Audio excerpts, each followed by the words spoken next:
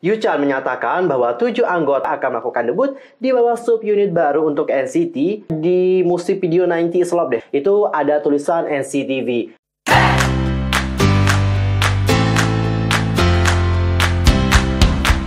Annyeonghaseyo Chungudul Yusro Kimimida Welcome back to my channel Gimana kabar kalian hari ini? So fine, so good, nothing problem kan? Dan buat kalian semua yang punya problem, keep fighting, don't give up Nah, for time, seperti biasa aku akan mengabarkan update berita terbaru dari dunia perkepopan yang sangat sayang banget untuk kalian lewatkan. Nah, supaya kalian gak ketinggalan tentang update terbarunya, langsung aja di guys, subscribe, bunyi loncengnya, like and comment video ini, serta share juga kepada teman-teman K-popers yang lain. Follow juga sosial media aku, di Instagram itu ada, at di Facebook itu ada, Detektif Teori, di Twitter itu ada, at 2 Gamsa Hamnida Cingudul. Tanpa basa-basi lagi, langsung aja kita bahas bersama-sama. Alright, dulu untuk berita pertama, kita mulai dulu tentang kisah dari seorang netizen. Yang mana netizen ini telah membeli album NCT, tetapi dia itu malah mendapatkan photocard dari Kai. Itu gimana ceritanya ya? Coba langsung aja kita kulik ya. Kejadian photocard salah server kembali terulang. Salah satu penggemar dari Jepang yang membeli album NCT Resonance Part 2 menemukan photocard Kai yang seharusnya untuk mini album dari Kai. Penggemar tersebut menuliskan, photocard Kai keluar dari album NCT. Sebelumnya, kejadian seperti ini juga beberapa kali terjadi, tak hanya di SM Entertainment, tetapi juga di agensi lain. Penggemar bahkan pernah mendapatkan jackpot photocard official Isuman. Wow, Kai kenapa bisa nyasar nih ke album dari NCT? Atau jangan-jangan Kai ini akan menjadi member NCT lagi? Oh enggak ya, bercanda, bercanda. Coba sekarang kita lihat bagaimana komentar-komentar dari para netizen. Let's we see together. Yang lucu dan langka itu kalau beli album NCT dapat PC-nya Rose, baru di luar nalar. Bener, di luar nalar itu mah ya. Kalau dapat PC Isuman, mau simpen di dompet, siapa tahu suksesnya nular, oke? Okay? Bener nggak nih suksesnya nular? Atau jangan-jangan Anda itu adalah fangirl dari Isuman? Ya, saya tahu aja kan ya. Kayak waktu itu ya, ada yang beli album Stray Kids, malah dapat photocard Jackson God7. Kok bisa nyasar gitu ya? Mungkin album NCT dan EXO itu kan diproduksi di tempat yang sama, dan juga keselip gitu. Dan orang di tempat produksinya juga nggak tahu nih mana aja member dari NCT. Aku juga baru tahu setelah nonton GCC kalau nyusun album kayak gitu manual. Oke. Okay. Kalau aku dapat PC officialnya Suman, mau aku simpan samping celengan. Kali aja tiap malam nyanyi nyumbang ya. Oke, oke, oke. Ide ya cemerlang. Ntar kita beli deh ya PC Suman. Siapa tahu nanti dapat memberikan kita kesuksesan.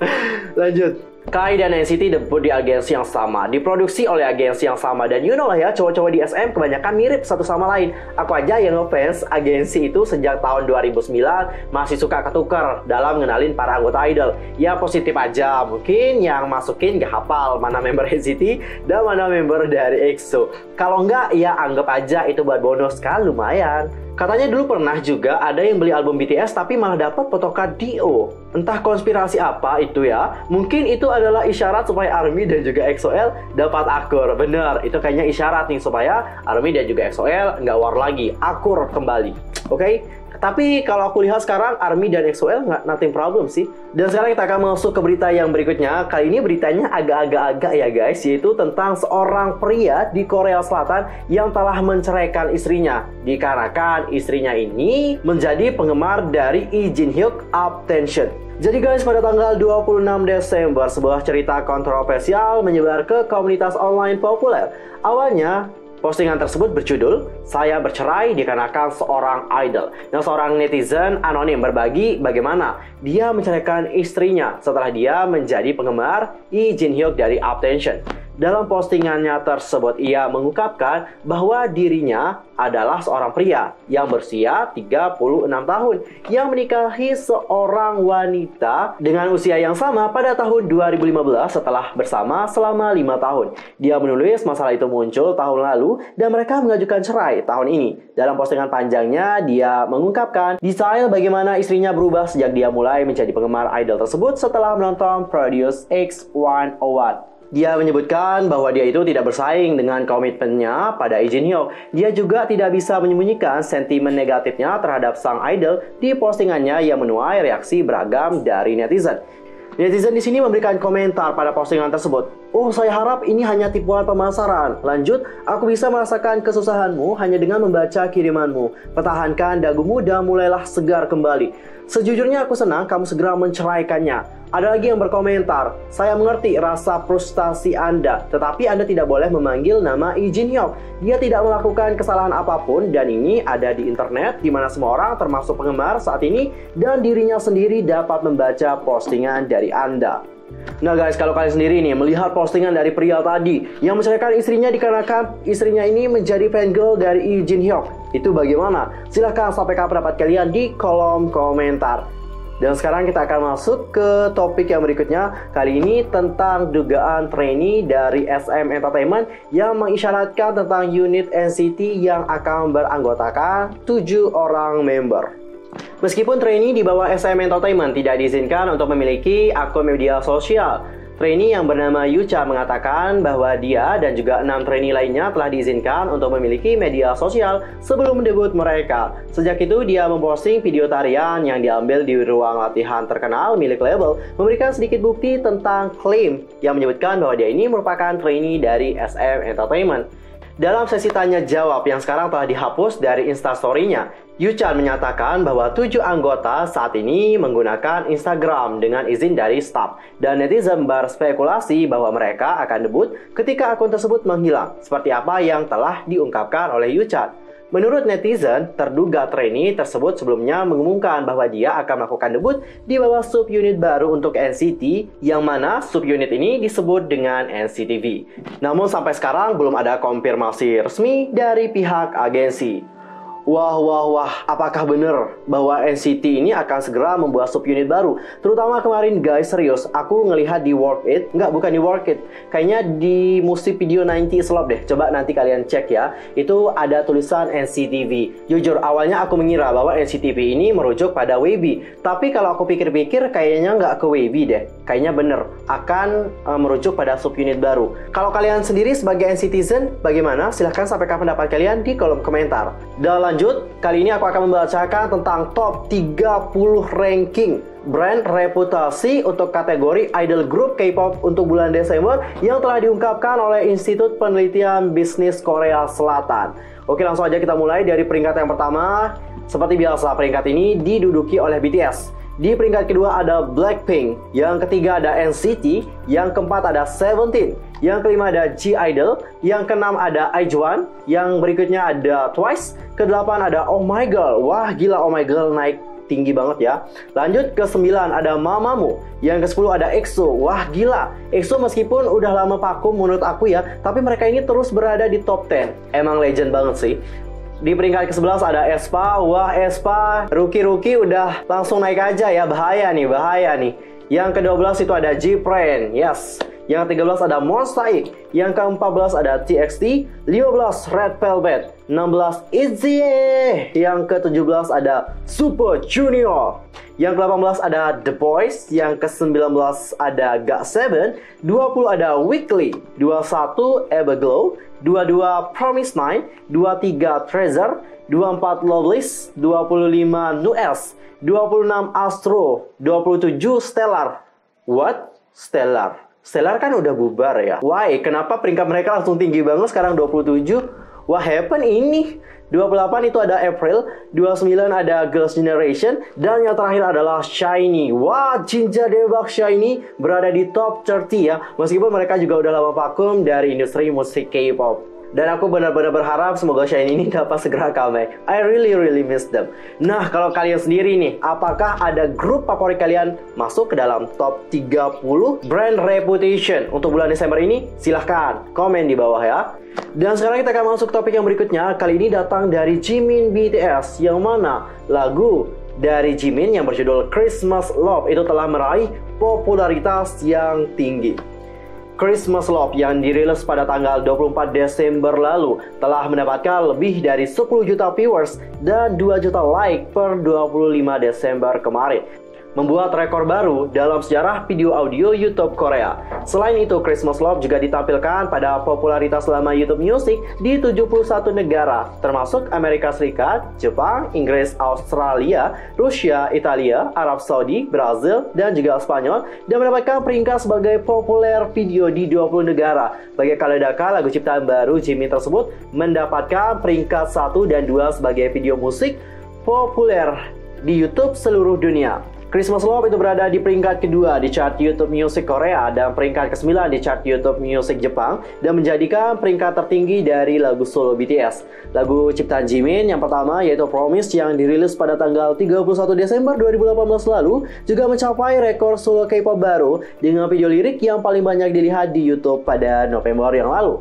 Lagu ciptaan Jimin terus-menerus mendapatkan cinta dari para penggemar dan diakui sebagai solo artis serba bisa di seluruh dunia. Congratulations sekali lagi buat Jimmy nih.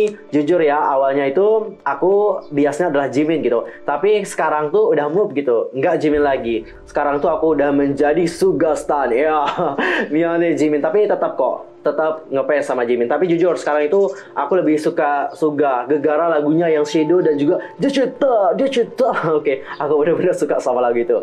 Dan sekarang kita akan masuk ke topik yang berikutnya. Kali ini ada berita yang kurang mengenakan dari Park Bom. Yang mana baru-baru ini penggemar telah mentrainingkan hashtag Respect Park Bom. Apa sebenarnya yang terjadi dengan hashtag tersebut? Kenapa hal ini dapat menjadi trending? Dan kenapa para penggemar menyuarakan hal tersebut? Coba sekarang mari kita kulik bersama-sama kisah selengkapnya.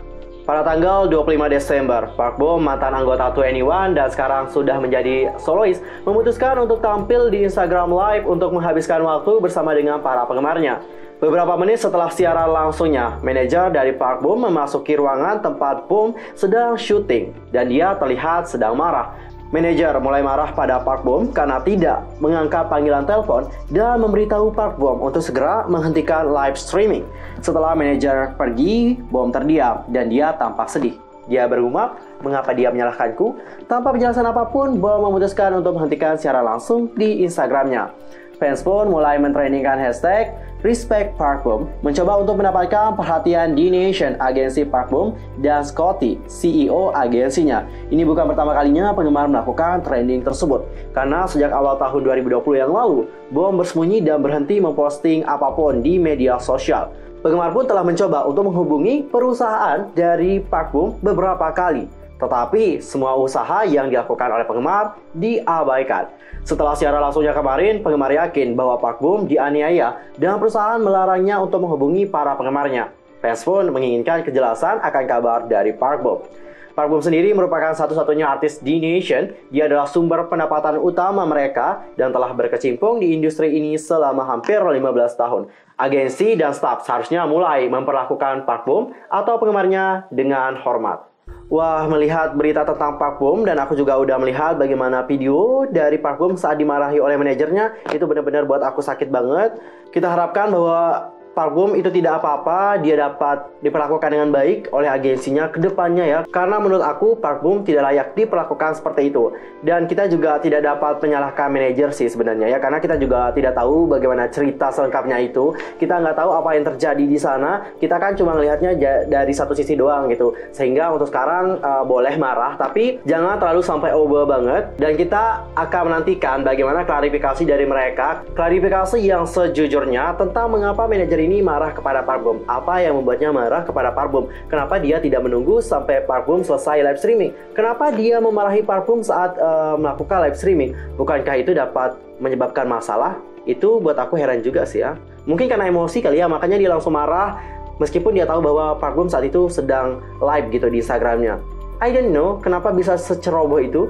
Dan sekarang kita akan masuk ke topik yang terakhir kali ini datangnya dari Treasure yang mana Treasure baru-baru ini trending di situs Pan dan netizen pun sekarang menyadari potensi dan yakin bahwa Treasure ini akan makin sukses di masa depan nanti. Baru-baru ini dalam situs Panet, seorang netizen Korea berbagi pendapatnya terkait Treasure.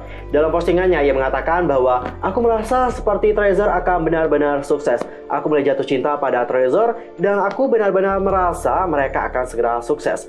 Setelah melihat bagaimana mereka dipilih sebagai idol yang paling dinantikan di Gayo Daejun 2020, Rasanya Treasure Map 2 akan membuat band mereka super besar. Aku sangat menantikan full album mereka. Ungkap OP tersebut dalam situs Pannet. Treasure sendiri itu memenangkan posisi pertama dalam voting Who is the most anticipated artist of 2021. Voting tersebut dilakukan melalui aplikasi Star Pass oleh SBS Gayo Daejeon. Sementara itu, Treasure baru saja sukses menampilkan tiga lagu andalan mereka di acara SBS Gayo Daejeon yang dilakukan di Daegu.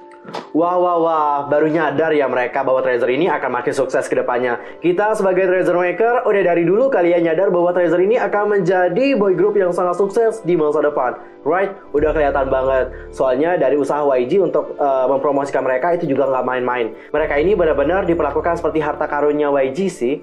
Oh ya, aku juga dari dulu itu punya satu pertanyaan yang belum aku dapetin jawaban. Apakah artis-artis uh, K-pop yang tampil di acara musik, misalnya kayak di KBS Music Bank atau enggak SBS Inkigayo, itu mereka dibayar atau mereka yang bayar pihak stasiun televisinya? Apakah seperti itu? Jujur aku belum ngeh soal itu. Aku belum dapetin jawabannya.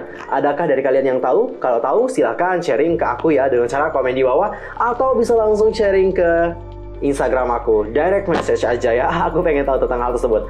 Oke okay guys, well dan untuk video kali ini aku mohon maaf ya kalau ada kesalahan baik dalam ucapan, sikap, tindakan dan sebagainya. I'm so sorry banget. Dan mungkin ada kesalahan informasi silahkan koreksi aku dengan cara komen di bawah. See you next time di update berita yang berikutnya. I'm Yusor Kemamit. Thanks for watching. Annyeong. Gamsahamnida. Cingedul.